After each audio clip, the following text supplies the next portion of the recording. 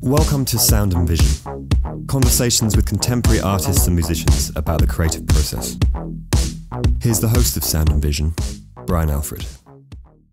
Sound and Vision is sponsored by Golden Artist Colors. Golden Artist Colors makes the best paint you can buy. You can find their products at any art store or online at goldenpaints.com. Sound and Vision is also sponsored by Fulcrum Coffee Roasters.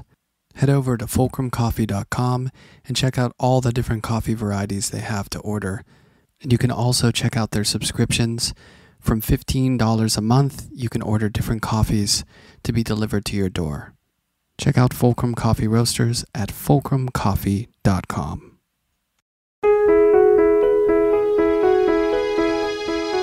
Kurt Kauper was born in Indianapolis, Indiana in 1966 and raised in a suburb of Boston, Massachusetts. He received his BFA from Boston University in 1988 and his MFA from UCLA in 1995. He's lived in New York City for the past 20 years. His figure paintings of historical and imagined people tend to leave expectations unfulfilled and elude simple categorization. In contradistinction to his clear and precise articulations of form, Kurt's content is characterized by intermediacy, unintentionality, ambiguity, fluidity, destabilization, strangeness, immorality, uselessness, and neutrality. Kurt has had solo shows at Acme Gallery in Los Angeles, Deitch Projects in New York City, and at Almin Gallery in New York. He's been included in numerous group exhibitions both in the United States and Europe, including venues such as the Whitney Museum of American Art, the Pompidou Center in Paris, the Kunsthaus Vienna, and the Stedelijk Museum in Ghent. He's received numerous awards, including grants from the Elizabeth Greenshields Foundation, the Louis Comfort Tiffany Foundation, and the Pollock Krasner Foundation. His work is included in the collections of the Museum of Modern Art in New York, the Whitney Museum of American Art, the Hammer Museum, the Oakland Museum of Art, the Weatherspoon Museum, and the Yale University Art Gallery. He's taught at the School of the Museum of Fine Arts in Boston, Yale University, Princeton University, and the New York Academy of Art. And he's currently a professor of art at Queens College in New York City. I spoke with Kurt about Ingres and Manet having a rare name, eco friendly materials, strangeness in painting, and much more. Here's our conversation. Perfect. All right, we're in business. So here's my here's my guess I'm pretty sure this is right.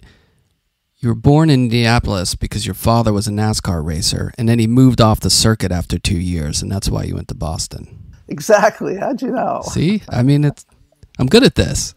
Yeah. no, I guess we did live near the speedway, but I, I have no memory of any of that.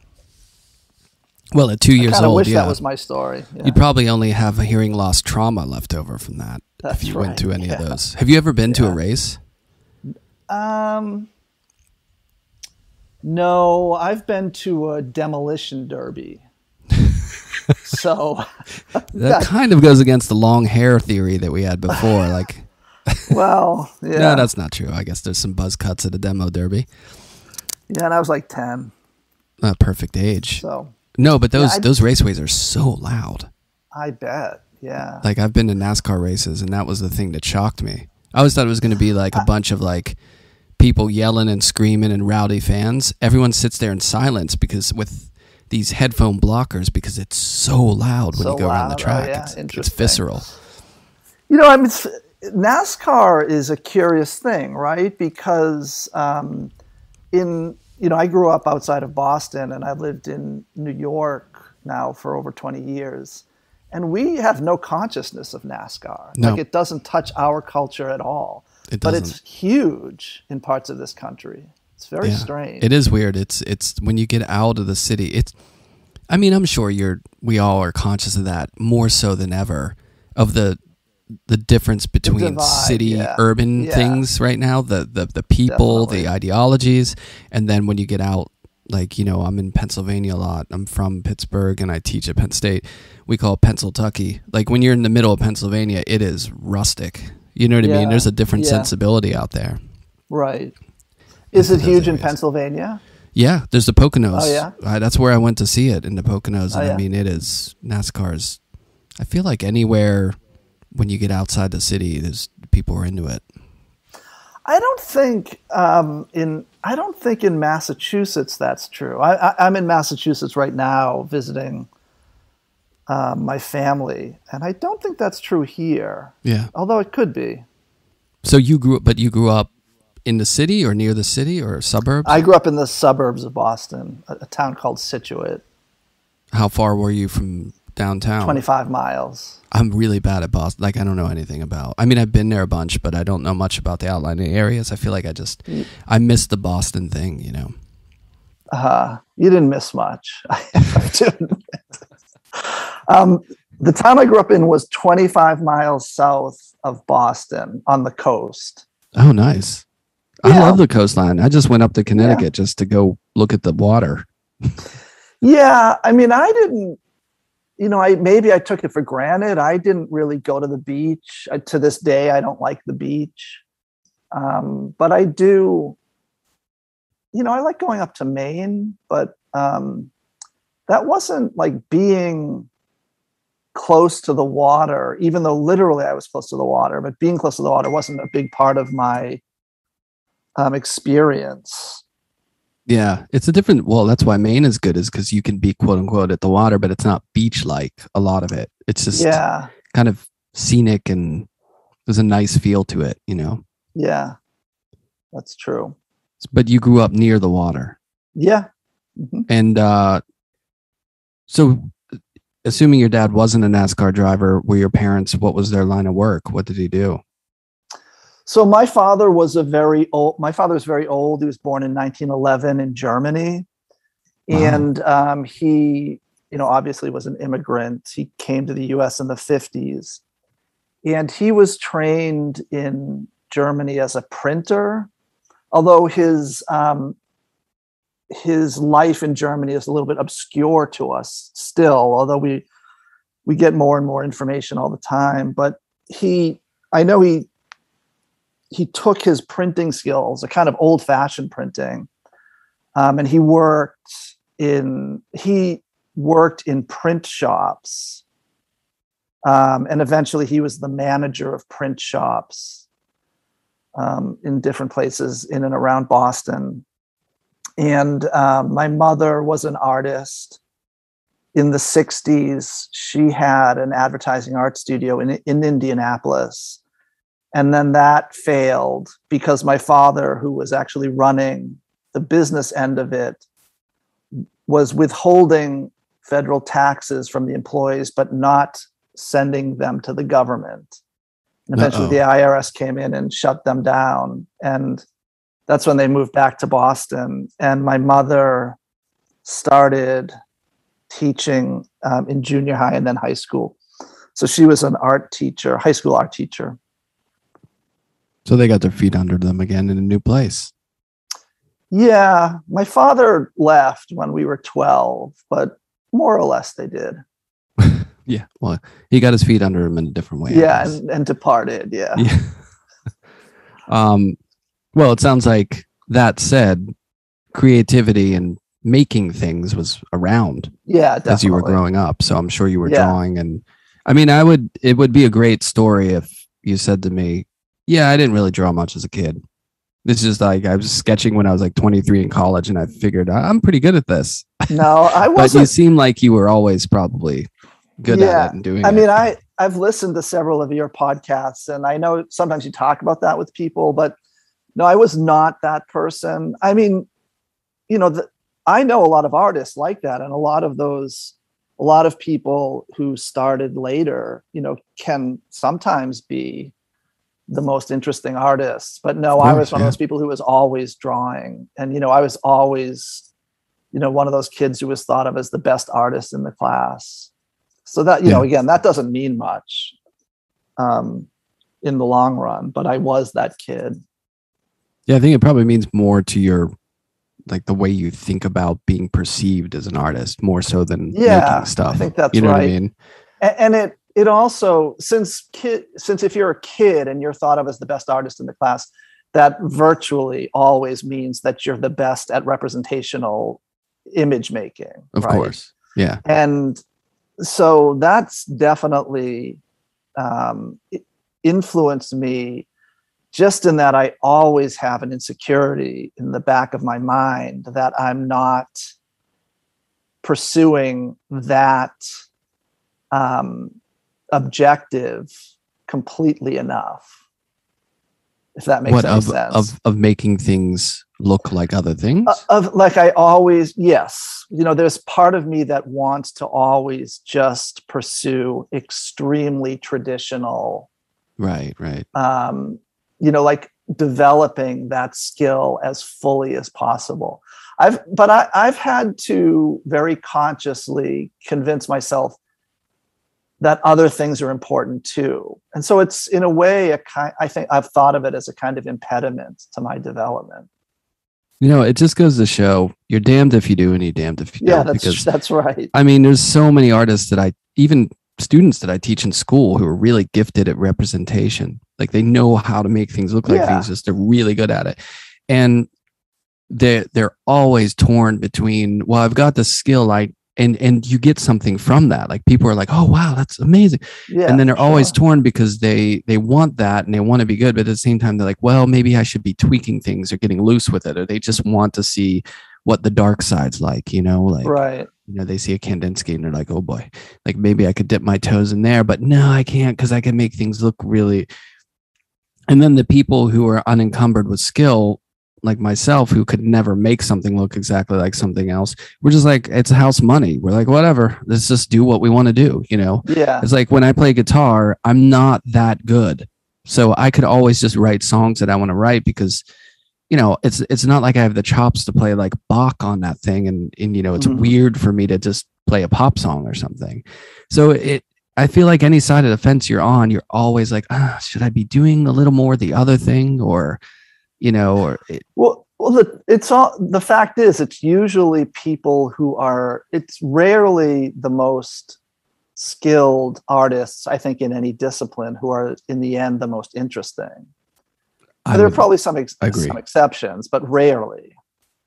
it's and, you it's know, I- rare. yeah, yeah, I, I agree. I, I think it's tough. It's it's it's almost like you could make an analogy of you have two kids in a beginning drawing class.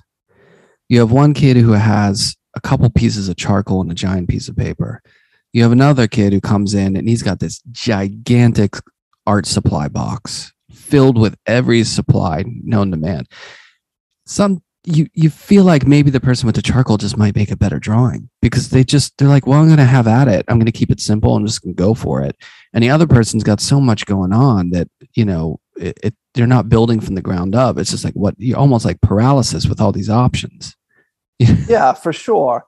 you know, the more you have in a way, sometimes that can make things more difficult. But I know that's not for everyone, but generally speaking, I think that can Yeah, it can. And, and there's also no guarantee that someone who has that facility has everything else that it takes to make an interesting artist. Yeah. That's I mean, true. like the experience, like life experience or Yeah. Uh, what else? All Whatever the else it is, feed yeah. you. Yeah. Yeah. I, I remember, I think it was, I was listening to an interview with the guy from Vampire Weekend and he was saying that he feels like he writes better songs because he's not, of, of some of the things he doesn't know how to do on a guitar. And, you know, sometimes not knowing all the ways can be liberating in a sense.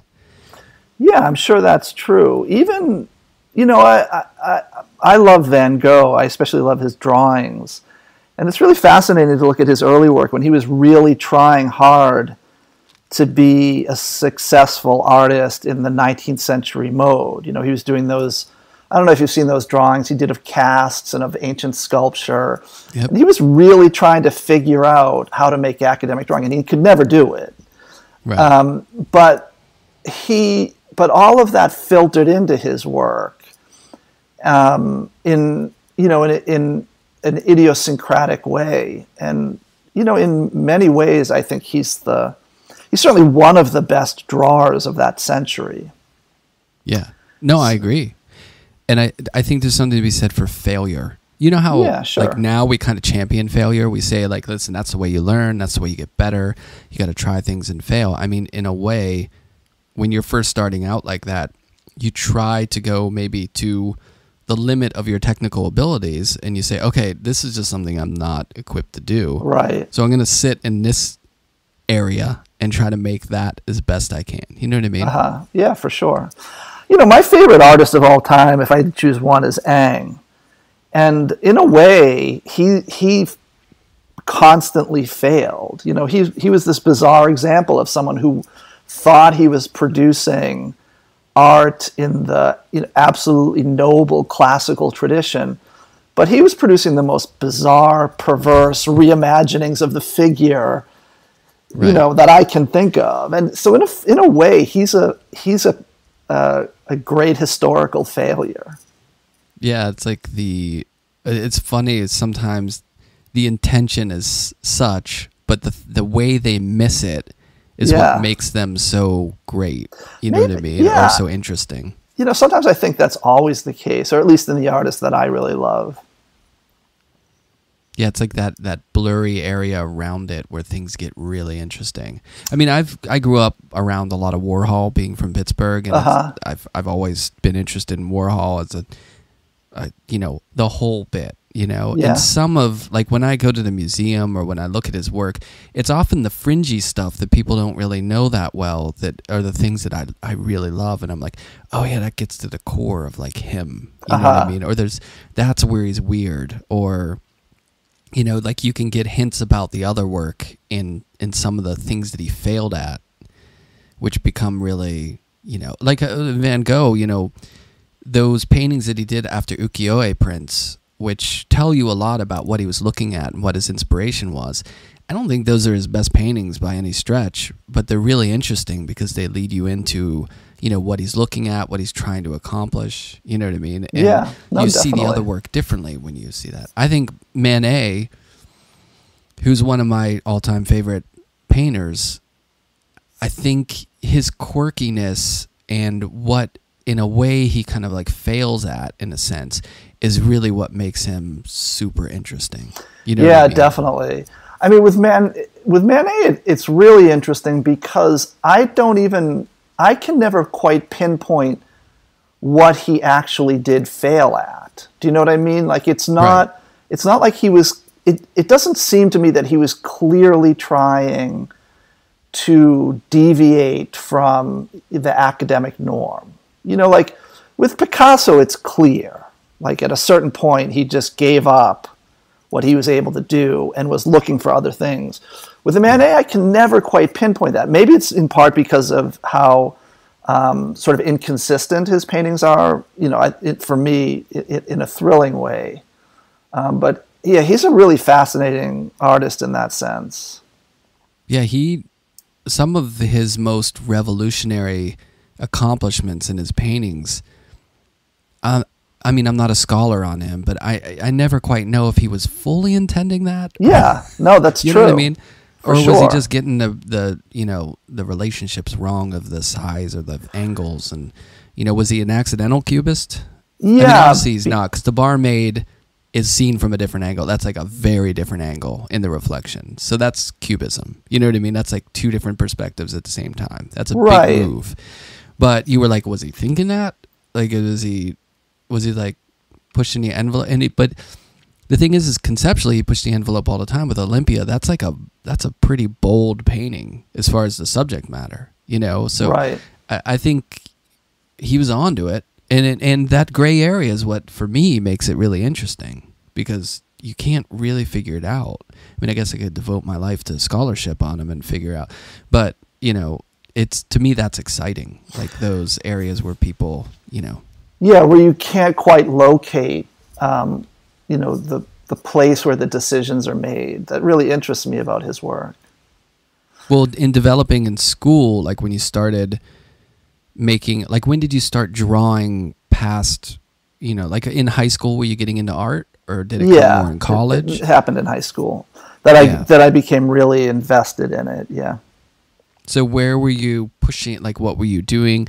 How did you feel about your technique? And you know, where is your sort of relationship to that idea of what you can accomplish, what you want to scale back on or tweak? Was that entering the equation at that point, or were you just trying to make things look like other things? Well, uh, first I was just trying to make things look like other things. I mean, so when I first started to really um, think seriously about making art, I guess it was the end of my sophomore year. And I remember the first drawing that I was really happy with was a drawing I did of the high school ceramic studio. And I, I mean, I to this day I remember setting up in front of, you know, in the studio and thinking I was just going to very carefully copy what I saw.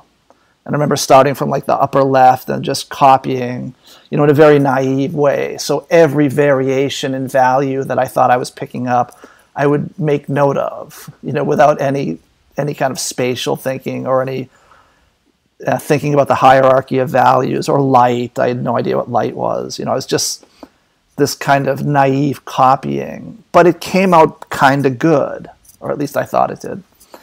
And um, you know, so that that was driving my. That's what motivated me for at least a while. But then, then I started taking classes outside of high school with this with a portrait painter who had moved to to a town near me from New York. He had been a fashion illustrator and portrait painter in New York. And um, I guess it was through him and through my mother that I was introduced to old masters. So I was looking at, um, you know, my mother gave me this art history book. It was Janson's Art History. I still have it. And um, I remember looking through it, you know, and being blown away by Van Eyck, Rubens, Holbein, um, Raphael. Um, who else did I love in that book? Um, you know, there were others. And I started to become really interested in the old masters and started looking at their drawings. And so that started to change the way I thought about drawing. And then I took high school classes at Boston University and I had a good teacher there named Michael Monahan who um, showed me, you know, introduced me to, to, ways of thinking about drawing. So that all happened, you know, from sophomore to junior year, something like that in high school. Yeah, and I guess if you're going, you know, to those classes, are you when when are you first starting to go to museums and see some? Because there's a big difference between seeing those works in reproduction and then when you actually see them in person. Because in reproduction, it's like incomprehensible you're like, wait, how are they doing this? You know, and then when you see it in person, there's the whole. It's also kind of incomprehensible in a way, but then you understand glazing, or you learn about like how they're like building these layers and stuff. When did that first start happening? When you're seeing that stuff in the flesh? Yeah, so I, I mean, my mother used to take me to, to museums when I was a kid, but I, I didn't really want to go back then. You know, when I was right. eight or ten, I wasn't one of those kids. who you know like David Romanelli talks about that going to the Met when he was like 10 that wasn't me um, but by high school I was going to the Museum of Fine Arts in Boston and um, and they have a great collection of Cop John Singleton Copley who I think is a really mm-hmm. interesting artist actually in his American period and I, I loved him at that time and then I went to um, when I was looking at art schools as a junior, I went to New York and I stayed with two uncles of mine. I, I, had uncles who lived on the Upper West Side. One was a stockbroker, and the other was a fashion designer. And they started taking me to um, the Met and the Frick. So it was in my sophomore and junior year I started to look seriously at art in museums. And when you saw it, were you was there a a, gap between the way you were making things and what you saw and you thought to yourself because i remember when i was in an undergrad at penn state i would go to the palmer and there were these still lives these giant still lives with all this fruit that were like sweaty and there would be bugs on them and uh-huh. just, you could see the glaze in it and at that point we were just starting to learn glazing but it was like a you know kind of blew away my mind in, a, in the sense of like how do you make that surface like yeah it was just you know, it's almost like when you see glass blowing. It's just like such a specific, interesting process that you know. Well, it's it's different. it know? made a huge difference. Like I remember realizing that painters at that time would build up the lights, you know, some, and sometimes, you know, you could literally, I didn't actually do it, but you could measure the height of the highlight as opposed to how thin the shadows were painted. So that type of thing I, I note, I note, and you don't see that in reproduction.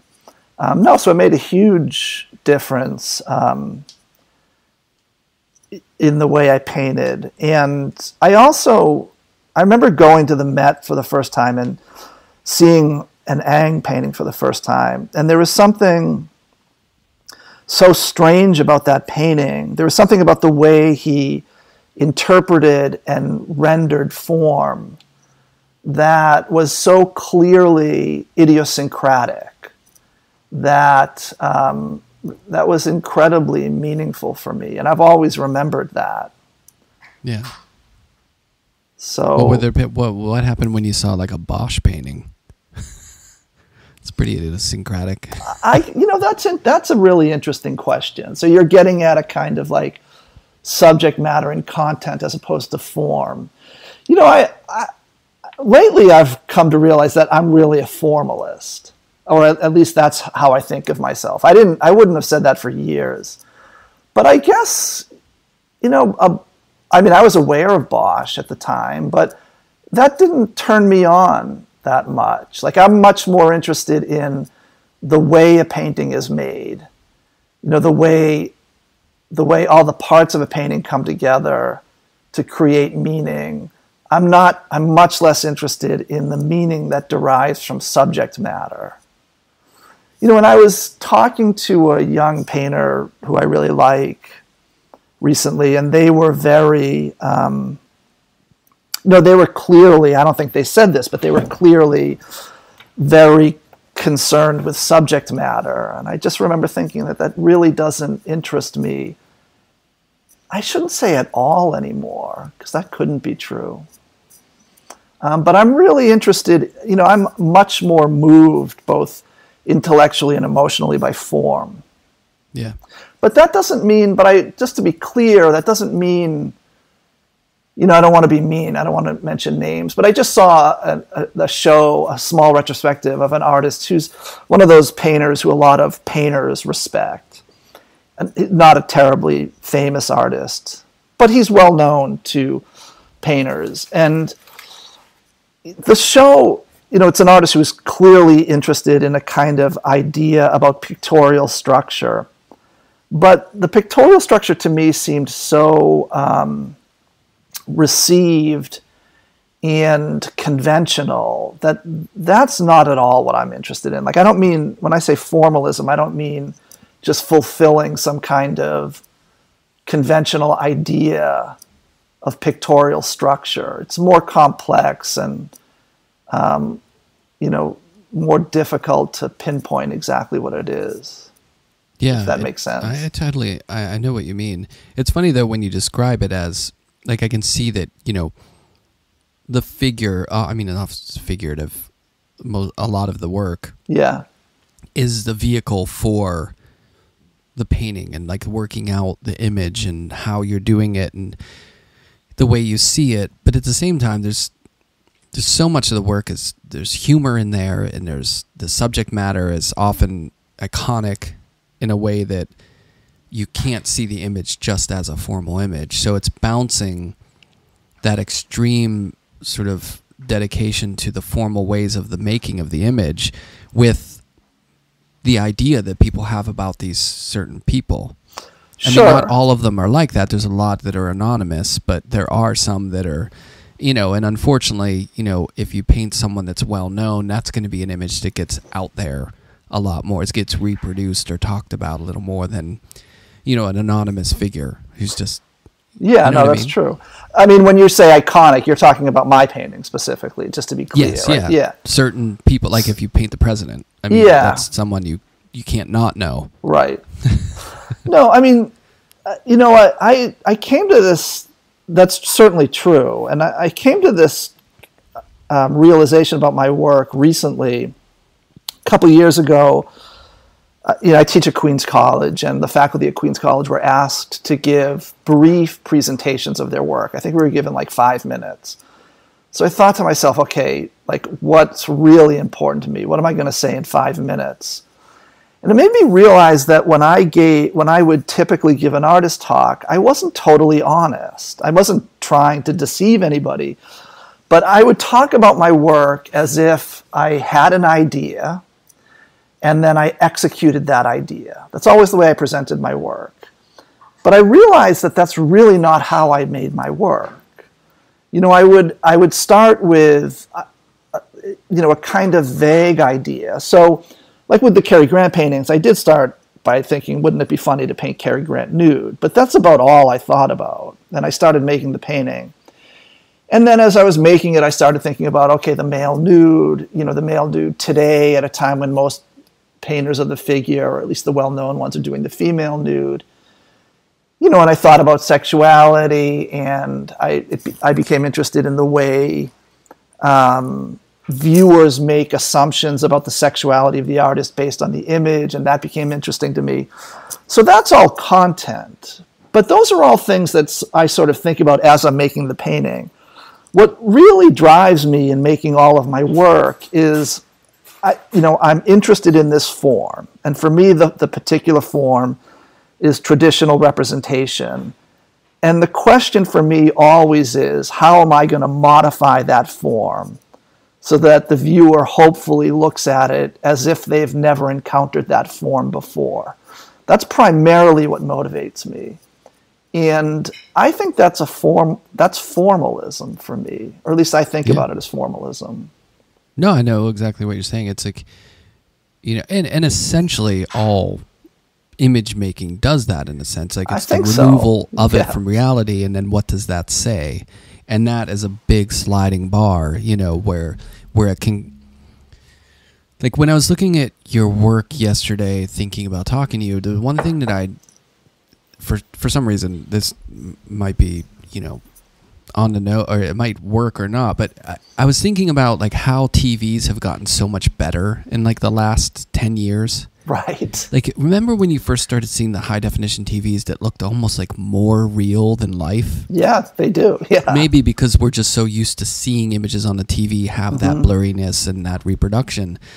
And that was a that's a weird thing when you like look at TV and you're like, are they in there? Or like, wait, that's more crystal clear than if I'm looking at someone's face in a room. Right, sure. And that's a bizarre kind of like hyper real, non real relationship that my brain like, you know, has a difficult time like negotiating in a uh-huh. way, you know? Yeah. And I think when I was thinking about your paintings, sometimes in the paintings everything is so crisp no matter whether it's far away in the background or it's the foreground. There's almost like this hyper real like there's not the blurriness necessarily that you would get in your peripheral vision and there's something really interesting about that it's almost like bringing it all up to the level of you're looking at it all instantaneously even though you can't do that with your eyes which is yeah. a big gap between reality and that image that you make and it be, to me it becomes a really interesting not only in looking at it but also conceptually in thinking about the way we process like reality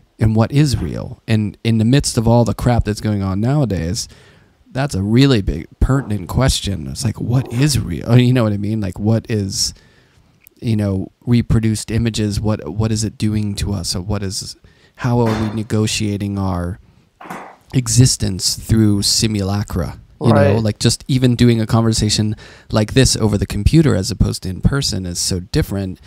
But here we are and we're talking to each other. Right. Sure. Um, yeah i mean I, all of those questions really interest, interest me although you know the question of what is realism is probably an unresolvable question. You know it, it just it leads to nothing but um, unsatisfactory answers probably which is fine. I mean you know and i think that's probably where you know the richness of the pursuit of realism comes from. But um, yeah that that kind of hyper focus is something that I don't exactly intend to be in my work, and I've actually tried to eliminate it from the work, but never very successfully.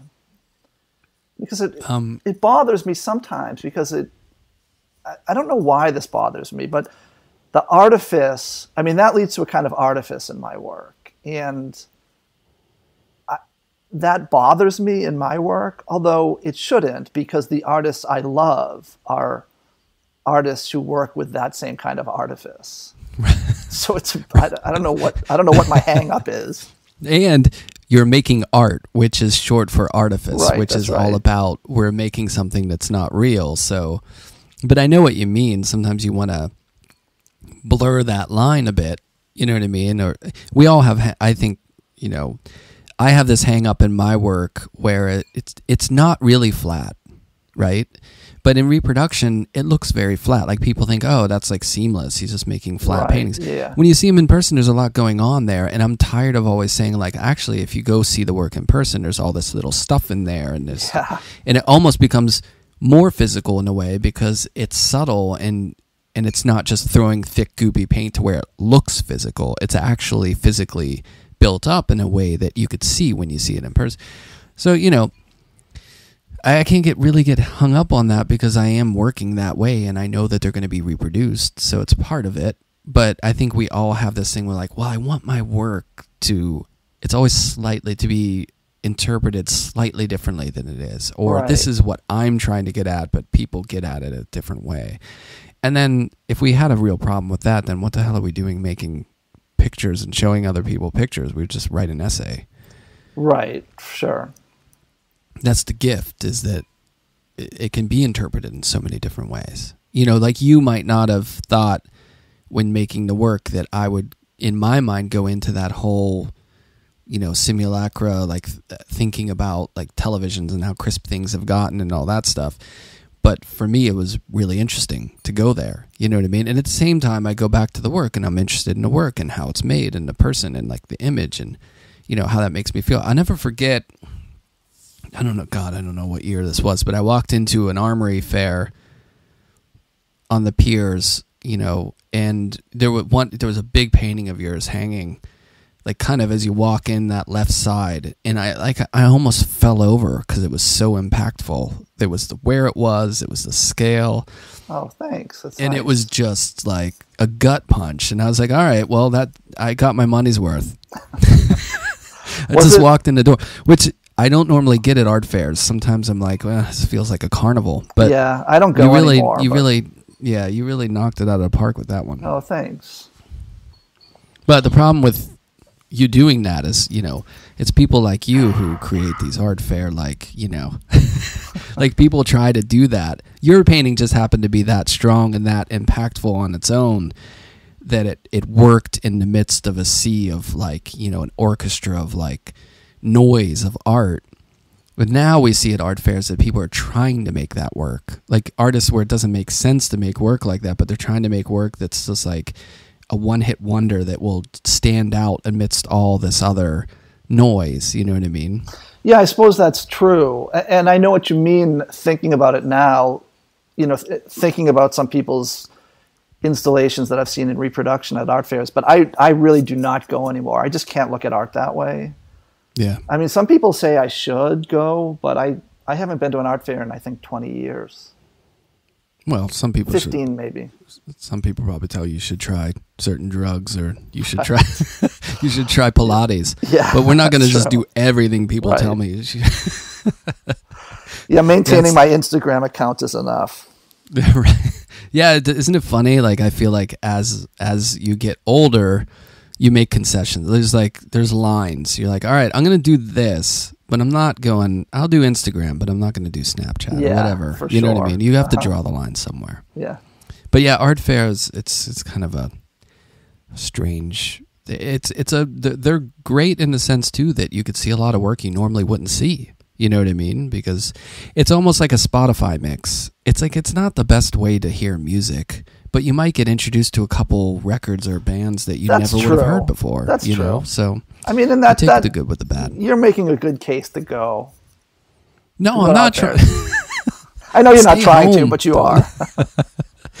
stay home. I, I always go home from an art fair thinking, you know, I just went to the art mall, Right. which is not like, which is funny because nowadays, whenever I do visit my extended family, and we happen, which it's not often, but when I go to a mall, I actually like going to the mall now, where I'm like, oh, this is kind of fun. Could like, you know, you have a kid, and you can go bowling, and then you can go buy a shirt, and you can eat, and then you leave. yeah.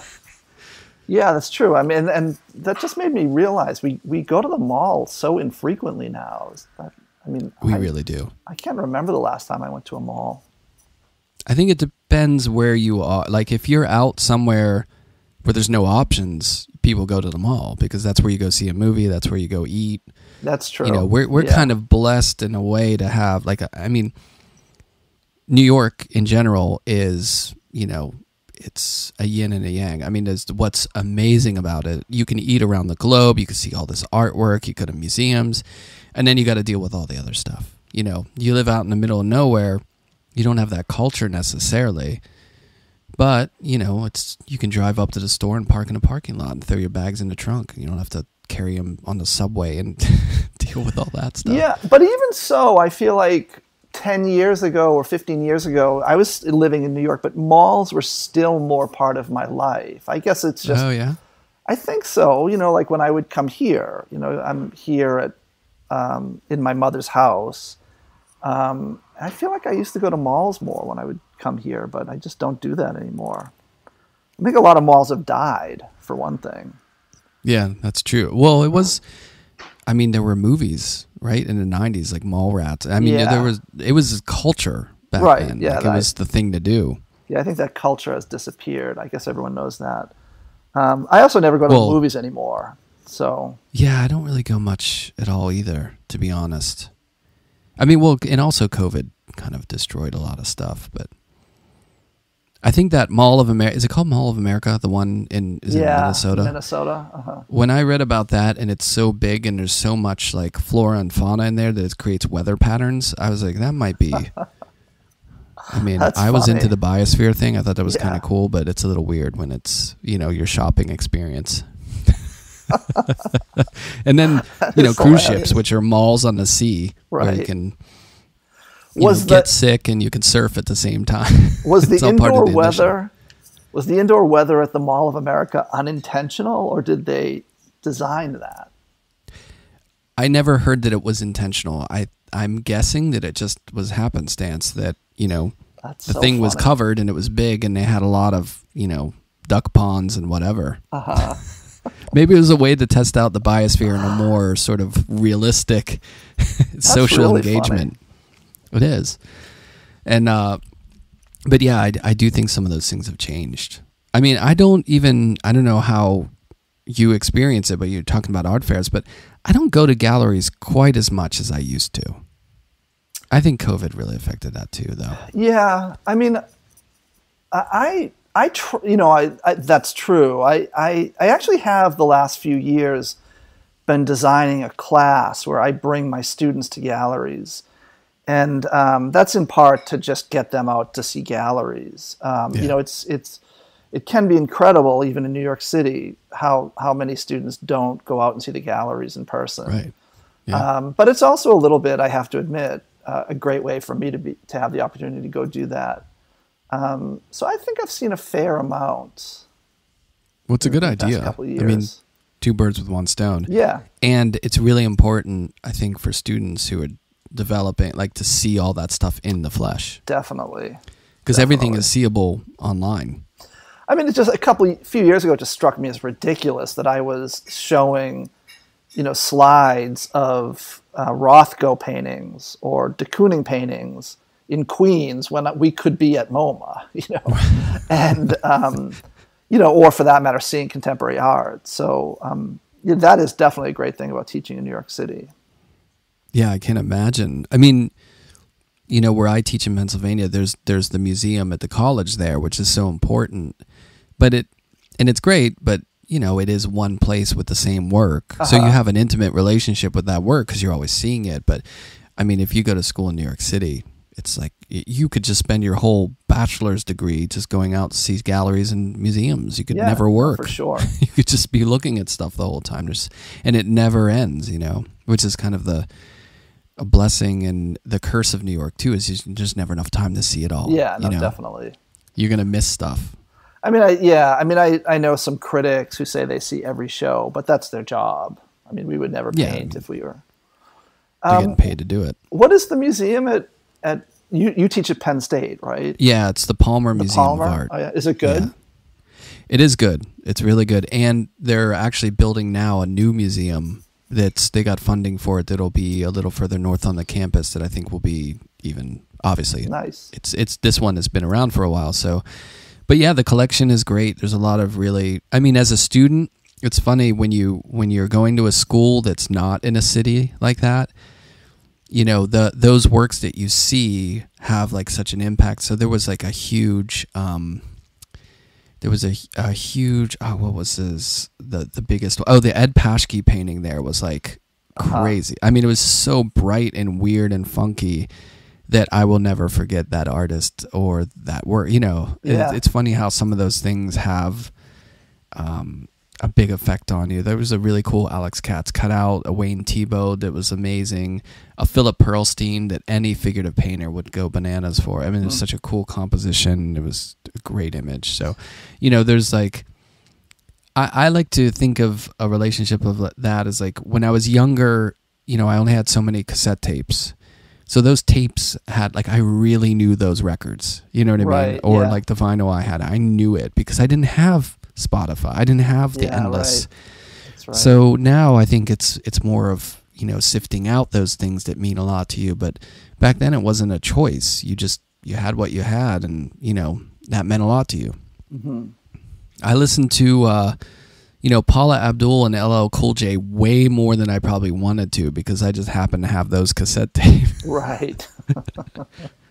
Were you a big music guy growing up? You know, I wasn't, and I have to admit, uh, to this day, I'm not a big music person, and I, you know, I, I'm reluctant to say that because I feel it, you know, diminishes my humanity somehow. Just because so many people are so invested in music, you know, it's actually, a, I think, a pretty fascinating aspect of, I guess, culture since it probably started in the beginning of the 20th century, but how Um, you know how widespread the love of music is, which I actually don't think was always the case. I mean, it was obviously not always the case because music wasn't accessible for a long time, Yeah. except to very few. So that really fascinates me. It fascinates me. You'll you'll often find people who say that they're not interested in art. They think that art is insignificant and a kind of you know unnecessary distraction. You know that's probably a kind of American attitude. You encounter it quite a bit, but you know, but then they say they love Led Zeppelin. You know, and it mean it's their you know it it's made their life meaningful. You know, so they somehow don't think of music as an art form, but it, it, I'm not that interested in music, but I'm interested in how important music is to people. Right.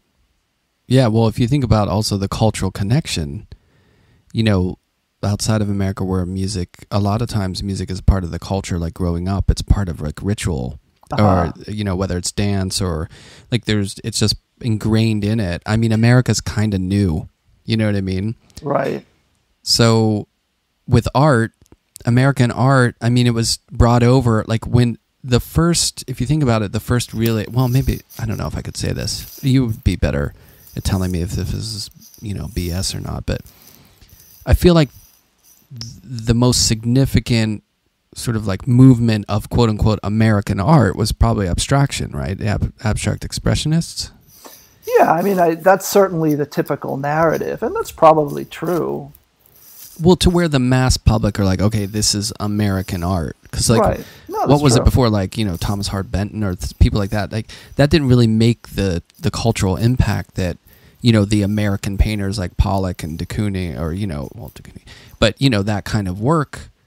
So at that point, people are seeing like Pollock, and they're like, well, what?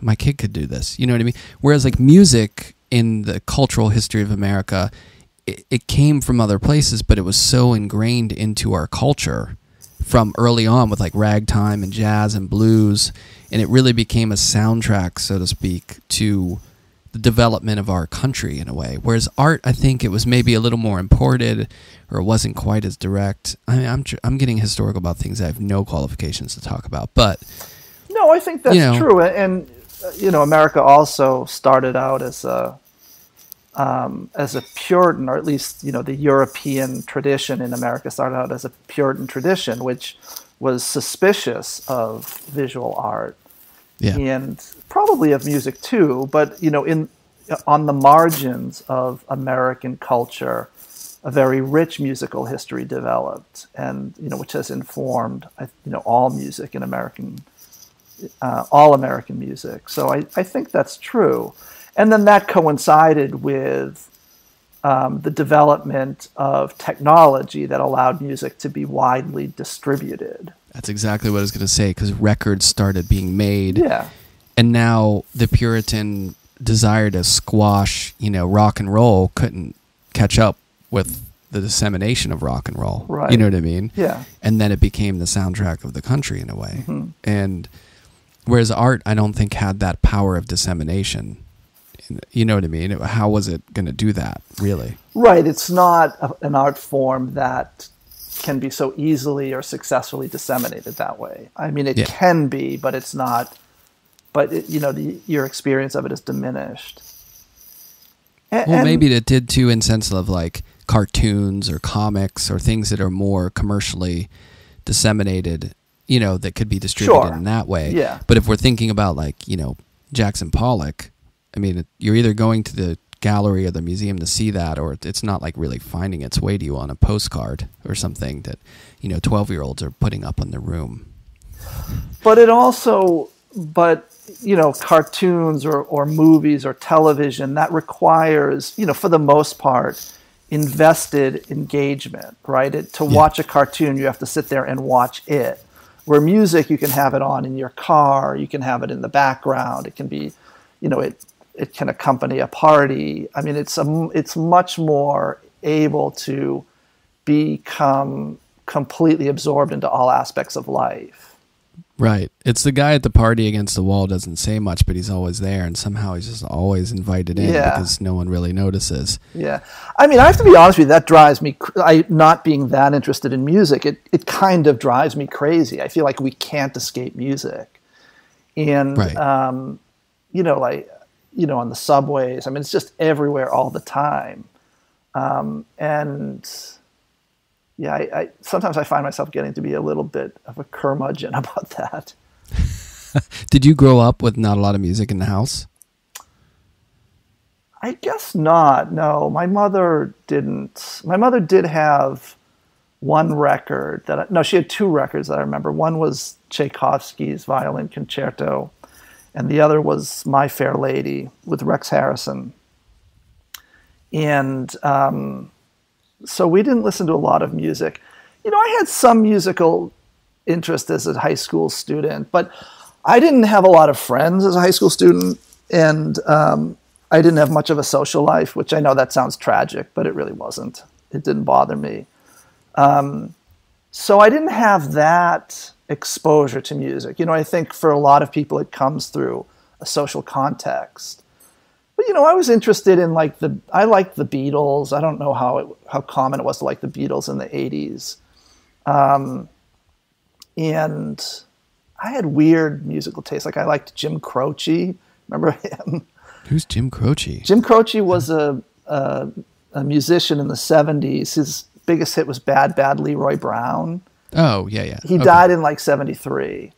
Um, but, and then I, you know, I mentioned that, that portrait painter I studied with, and um, he was, he loved music, and he played the piano, and he, um, he I remember him telling me that um, you know you'll you'll listen to the Beatles and you'll love the Beatles and then you'll move on to Count Basie and you'll love Count Basie and then you'll move on to Bach.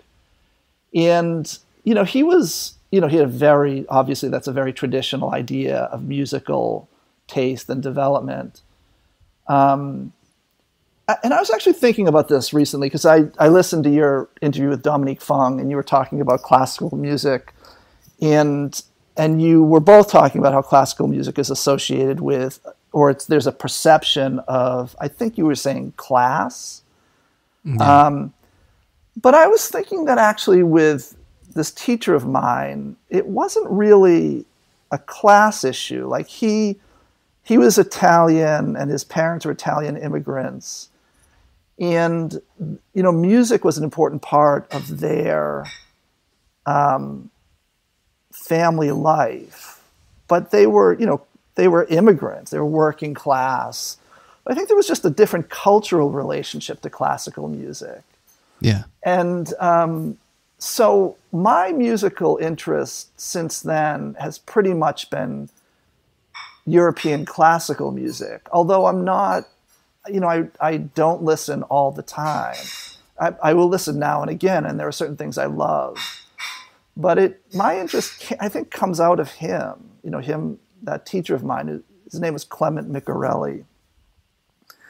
And, um, you know, that's really where my musical interest started. But even there, I, I listen rarely. I feel like I listen very intensely, but rarely.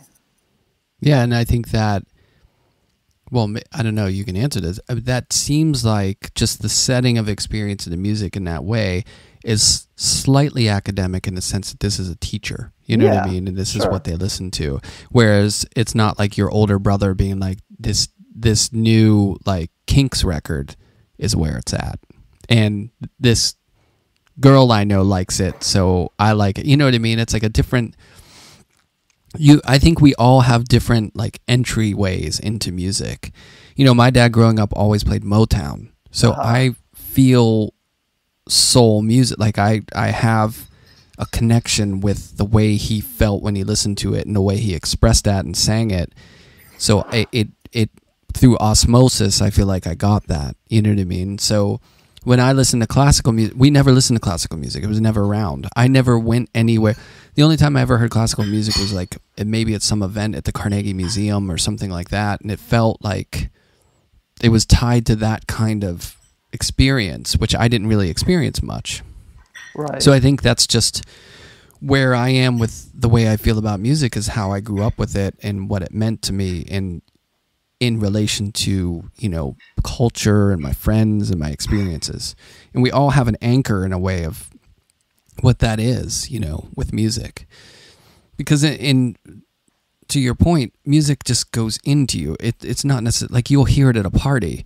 You'll hear Led Zeppelin. It's not like people are saying to you, like, okay, now we're all going to sit around and listen to this record together, and this is what it means, and this is how you're supposed to feel. Whereas with art, you go to a gallery or museum, and it's like, here's what the artist is trying to do, and this is what it means, and this is what abstraction is, you know. yeah. That doesn't happen with music as much. It's more of just a visceral thing that's there. Yeah, I mean, and, and of course, that's something that certain critics have bemoaned about the, the history of music in the 20th century. You know, like Adorno, you know, that horrified him that people that music was a passive experience for most people. Right, right. That's true. And um, Yeah. I mean, you know, he was such a weirdo that he. I, I mean, I read this essay where, you know, he talks about his his love of Beethoven's Sixth Symphony, which he tries to revisit every year, but he doesn't listen to it. He reads the score. and um, But that's appreciation. yeah. Um, s- I was gonna. What was I gonna say about that? No, you're absolutely right. That my interest in music had a kind of academic source. It came from a teacher, but I also remember, you know, that was in that would have been in late high school, and I was in that in that sort of first period of finding myself very moved by my experience with certain works of art. You know, like that's when I first discovered Ingres, um, you know, or any of the artists I was looking at at that time. You know, and you know, I felt like I had been exposed to a way of experiencing life that I had never experienced. Yeah. And just the way my teacher talked about classical music, it seemed to offer that promise. Although, you know, when you first listen to classical music, that it doesn't deliver. Do you know what I mean? Like you have to listen over and over Right. again. Yeah, yeah. But that the promise of that is something that I I sort of knew that I wanted. um, and I was exposed to that through him. Um, now, I, I, I want to be clear about something. I don't I don't in any way mean to suggest that classical music is the best music or it's the only way that can be experienced. That was just my my experience with it. Yeah, it's really about what everyone gets out of the thing. Yeah. You know what I mean? Yeah. Like I listen to classical music and I I love it. It makes me feel a certain way. And there's certain times when I want to hear that. You know, just like Philip Glass, like I'll listen to Philip Glass if I'm in the mood and I want to hear that music and it makes me feel a certain way. I'm not listening to it in a passive sense of just like hanging around washing dishes listening to, you know, Philip Glass for an hour. But right.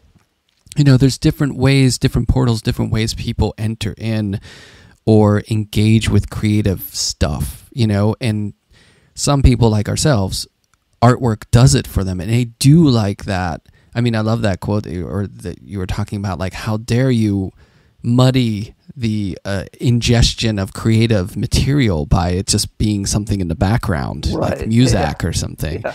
you know like the poster of I always joke around like, do you ever think Hokusai would have thought for a million years that his print of the wave would be on people's mugs as they're like having their breakfast coffee? Yeah. you know what I mean? I wonder what he would have thought. Yeah. I know, right? Like people in America are just hanging around with like the wave cup or so you know, there's something to be said for that that that's what's great about artwork is it it while some people think that makes it elitist or academic or like who cares or uh, you know, uh, and other people like ourselves say there's something really to be gained about really engaging in that image and thinking about it separate from any other experience just walking in and yeah. thinking about that. It's it's it is a luxury you know and to the point of what you were saying before it can be superfluous. Like it's not essential for existence necessarily to survive as a species but it is what separates us from you know rabbits running around in the yard you know is that we can sit there and stare at a picture and talk about it and think about ourselves or you know i think it's really what it gets i mean it's maybe it's bold to say but i think it gets to what makes us who we are as a species you know that art is is kind of like the highest form or, maybe the most purified form of that thinking and that that sort of sensibility Yeah, well, I mean, I, I would unapologetically agree with you. you know, I well it I- makes us feel better about going to the studio tomorrow Sure. yeah. Or Whereas other people are like you're just selfish. Yeah. Yeah. you just go sit in your box and make your paintings and yeah. yeah. I mean, or you know, we go to the studio and then we realize that we're not living up to all those people who did all that. That means so much. Oh to us. yeah. Well, I gave up on that a long time ago. I have to say that still torments me. Oh really? You're- Yeah. I, yeah. I, I'm unencumbered by that desire or ambition. I do feel occasionally like when I first went to school, I was a pre med major, and I do one once in a while think, well, I could be a surgeon right now, or a doctor, and I'm just in a room making pictures. But I feel like this is where I can make my the world a better place in some minuscule fashion. You, You, know? were a pre med student. Yeah, I started Oh, yeah. off in pre medicine, uh, but it just wasn't. I wasn't that into it, and I felt like, well, I think you got to be into it if you're going to do this. Oh, yeah, I would serious. think. Yeah. Yeah, you. I mean, do you want a half-ass surgeon working on you, No. dreaming of Rothkos while he's Right. like separating your rib cage? Have you had the Although I- experience of like going to a doctor or a lawyer and you tell them you're an artist and they say, "Wow, that I would love to be an artist." Has that ever happened to you? Not once, although Really? Huh. never. That's but I've had times. doctors and dentists who collect work and appreciate art, uh-huh. but never said like, "Oh, I wish I could do that." Huh. That's But that's just my- at least twice with artists. Do they with say that in doctors. the sense that do you think they really want to make images or they want to be like, oh, I'm an artist, I go paint all day? I you feel that like they, of- uh, well, probably there's there, they had a very romantic idea of what it is to be an artist, but I, fe- I mean, my impression was that they weren't really happy in what they were Yeah. doing, and they thought, you know, to them, being Freedom. an artist, and you know, especially like being able to make some money at it, yeah, seemed like a kind of freedom that they didn't have. Yeah, Yeah, yeah the grass is always greener. yeah, I you know? suppose. It's uh, that I feel that is so true and frustrating as an artist when people are like, "Oh, it must be so nice to have no rules. You just go in there and you do what you want to do." And that's the hardest part about it. Is Yeah, no one's telling sure. you what you need to do Right. other than like make some work for a show. So it's carte blanche. It's like all up to you.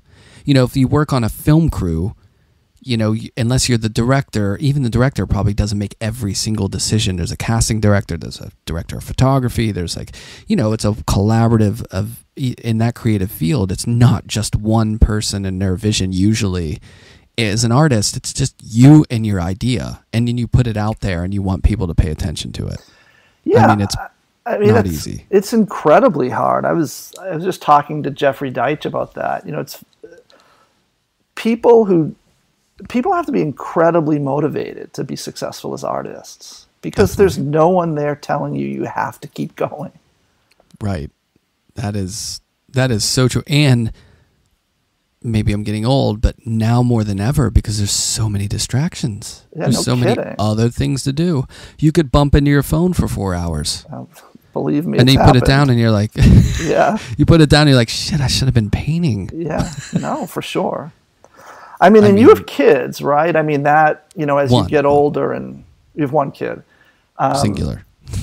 you know, just the responsibilities of, you know, being part of a family, that that's a distraction too. So it gets, you know, for me, it's just gotten harder and harder to maintain focus. Yeah, do you have a family? I have two kids. Yeah.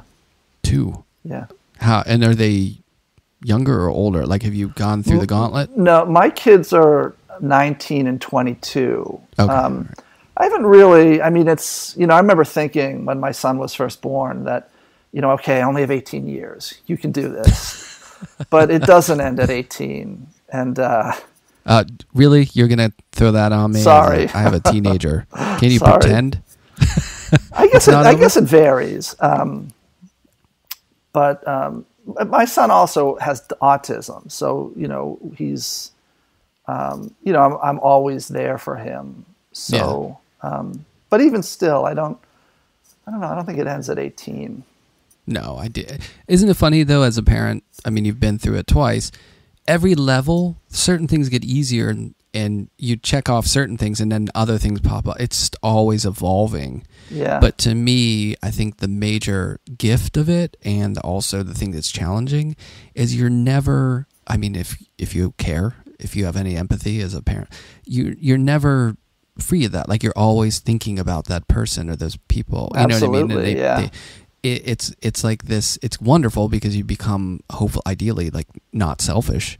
But it's also can be exhausting in the sense that you never feel like I'm always thinking, looking like, oh, what you know what I mean? You're it's completely exhausting and i um, like i'm a single parent and so i um, you know I, i'm a single sole income parent and so i'm often um, just doing what you know whatever varied things come up in you know the demands of having two kids you know and that can take up my whole morning you know into the early Yeah. afternoon so i get to the studio at i don't know one or two you know so i have to stay there till 10 or 11 but you know just those demands and it's not physical labor but i find that exhausting you know so i can often get to the studio exhausted which is another dilemma It is. And as the years go by, it doesn't get any easier, right? Although I do think we do get a little better at maybe managing our time. I think about those days Yeah. before I had a family and stuff, and I would just like dilly dally, you know, it's like whatever, I have all day. And and now, you know, I'm definitely more like, okay, I, get stuff done, you know? Yeah, I think that's true. You know, I think I've actually always been more productive when I've had some outside constraint. Yeah. Yeah, I think that's right. again, it's the thing that's like it's easier like when you have someone telling or or if you have a deadline like when you have a show deadline like okay it's like I, i'm working towards that date sometimes when that's not there you're a little more uh, Yeah, you you're do more lazy. times. yeah you're like i got time Yeah, and uh, you know, of course, that has a certain like it's it's only helpful up to a point. At a certain point, you know, if you just don't have any time anymore, you can't. it's debilitating Yeah. right of course but no, I think that can be beneficial.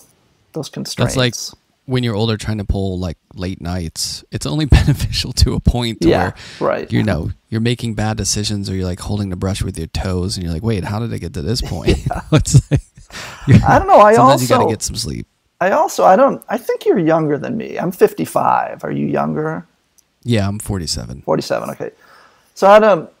I feel like the older I get, the less I just want to do those, you know, like um, mad rushes to get a show done. You know, I, Yeah, I, no, I, I, I'm less interested now in staying up until two or three a.m. Um, I think that's just aging. I I I'm already there. Like I I can't work past a certain time anymore. Yeah. Or uh, like I'm just not productive. Uh, It slows to a snail's pace, so it's better for me to just get to sleep and get in there the next day and work at it. But yeah, and I find myself being overly prepared. Like I don't want to have anxiety about getting things done on a deadline or whatever. So like I have an upcoming show in March, and that work's done. I mean, I'll probably do a couple more things for it, but f- to get the catalog ready and to to prepare, like I've made that work, and that work took me a while. So I, I, I make sure that I'm on. I hate cramming. I was like that with tests and stuff too. I don't want to, because like if I stay up trying to cram, I can't remember any of the material. Yeah, the work do terrible on the test. Yeah, Is that show with Miles? it is. Yeah, I have a feeling when my show comes up, he's not going to be as pleased with me being finished so early. my work takes so long because actually, my work shouldn't take as long as it does, even though it's labor intensive. There's some sensibility issue with me um, that always leads me to, you know, I always, you know, again, down to the wire. And I, I actually know that used to bother Jeffrey Deitch when I was showing with him. He was always very um, good about it. Like he never complained, but I know it used to bother him. Yeah, that's because you're you're delivering great work though. That's why. oh, that's nice of you to say. And plus, too, let's be honest. I, I mean, you may feel that you're not as efficient as you could be or something, but your work probably demands a lot of time. And I mean, my work is a lot quicker. I can use a hair dryer. like I'm, I work faster. I'm more of the Alex Katz ilk, where like I don't spend. I mean, I don't do a painting in a day, but you know, I I work quicker Uh-huh. Yeah. and you know certain people the the process needs more time to breathe it takes more time and you never have to tell anyone that you should be quicker or whatever because the way your work looks and how the attention to it it- like you can tell people it takes you you know two years to make a painting and i don't think anyone would have a beef you gotta milk Yeah. that I still wish I was faster. I think But- we, yeah, I had a I had a friend in graduate school who was a basically photorealist. I mean, he was he painted beautifully at a snail's pace, and he would get so frustrated that he couldn't work quicker. You know, so he Mm-hmm. tried to change the work to be a little more graphic and less, you know, feathering and less blur. You know, and it, it just wasn't his work. He went back to the way Yeah. he he worked, and it drove him nuts. Yeah, know? I mean that actually happened to me too. I in, in the you know when I first saw Lisa Yuskavage and John Currin in the when was that 90s, you know, mid 90s. I decided I was going to work faster. Um, but I just didn't like the work. You know, I'm, I'm not happy with those Yeah. paintings being out there, so Who's your friend? Yeah.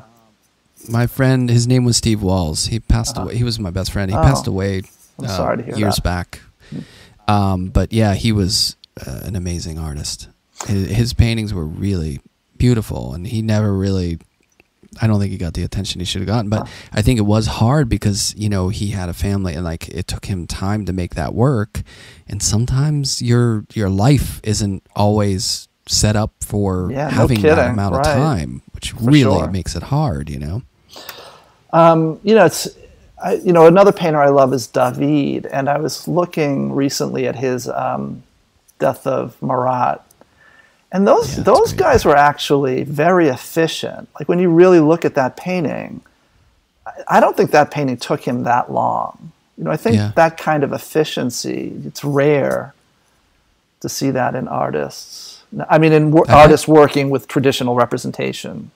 Right, right. Yeah, I bet I bet Manet was like that too. I Oh, mean, for sure, know? yeah. But I mean, did you ever see that painting he did called Suicide? It's like a, a figure laying on the bed with, Yeah, but mhm. it looks like he knocked it out in like ten minutes. Sure, definitely. You know, but sometimes people who labor over things are so good at it that it, they make it look easy, but it's really hard, and then vice versa. You know, sometimes um, people will labor something. It's just you never know. It's everyone has their own working methods and stuff. So, you know. Yeah. No, absolutely. I mean, I don't like this artist, even though more and more people seem to be embracing him. But you know the painter Bouguereau, the 19th century yeah, painter. yeah, yeah. He was apparently very fast. You know, he did something like 800 paintings in the course of his life, and some of those are big Damn, paintings. Yeah, that's impressive. Yeah. Well, Bob Ross was fast too, Um, Yeah. and he made gorgeous scenes. I had a I had a student recently who um, was what was I doing? I was showing him like a better way to clean his brush in the turpentine, and then he said to me, um, "Shouldn't I just?" Oh, now I'm forgetting it. The Bob Ross saying about how to clean Oh, his beat the devil out of it. Shouldn't I just beat the devil out of it? And I had Yeah, no idea what he meant, and he was Do that with the laughing. brush. Yeah. I think it's hilarious. The sad part is that supposedly that's what killed him is that he was working with that turpentine, and every time he would do that with the brush, did you watch that documentary? no. Every time he would take the brush and beat the devil Oh, out of it yeah, on that metal makes pipe, sense. it aerosoled the, Right. the the stuff, and he would breathe it in, and that messed him up. Did they? Has that been determined actually? That that I don't.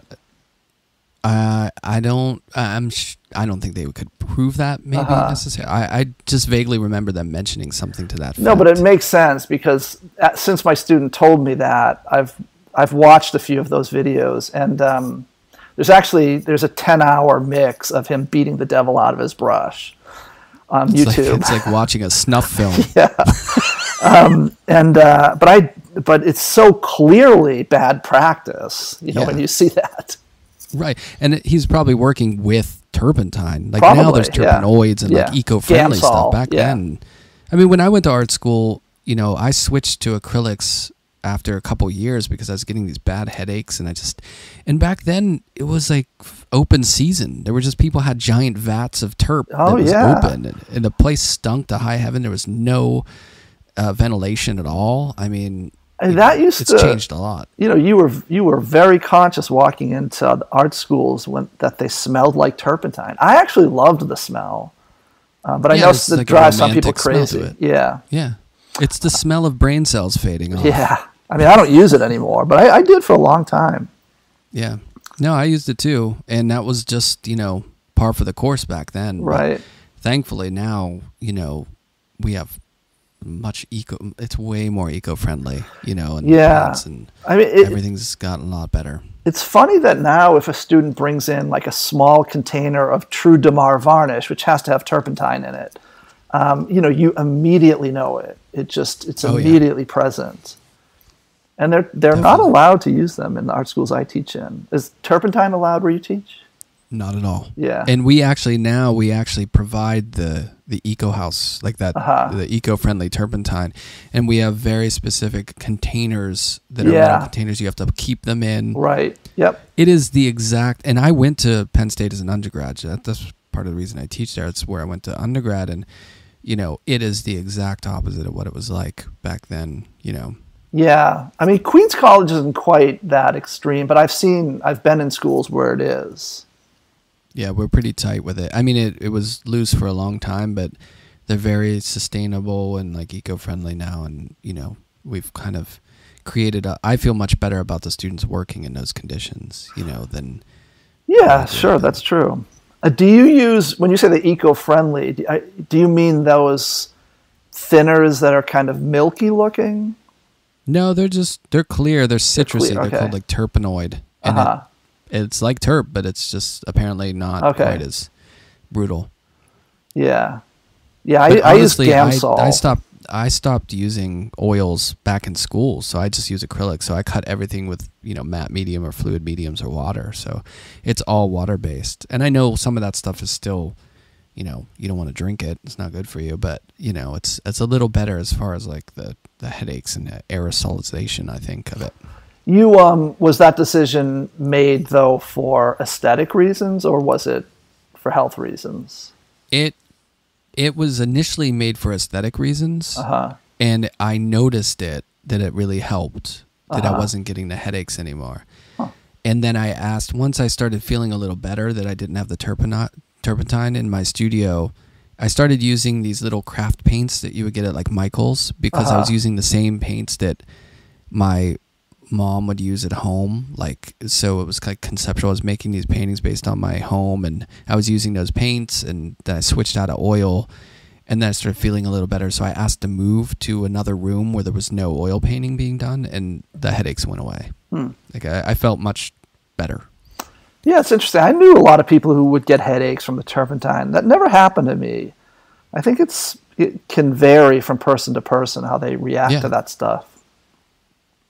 Yeah, I can imagine. I mean, different, you know, symptoms and different, and maybe those headaches were caused by, you know, being dehydrated because I was on a steady diet of coffee and nothing else in school. I didn't eat, right. Yeah. but I definitely, psychologically, I felt better. You know, when I got out of that stink, you, you could smell it. You know, it was like very strong. So Yeah, no, turpentine has has measurable, um, you know, health impact for sure. I mean, it can affect people's skin, and it's not good stuff. It smells good, but it's not. yeah, yeah, it's like nostalgia for me now. It's like that's a nostalgic smell. Yeah. Like I love going to see a show with like thick oil paint and you smell it in the gallery. Right. I- I, love that smell. That happened to me recently with. Um, I'm drawing a blank on her name, an artist who shows at James Cohan Gallery. The show might still be up.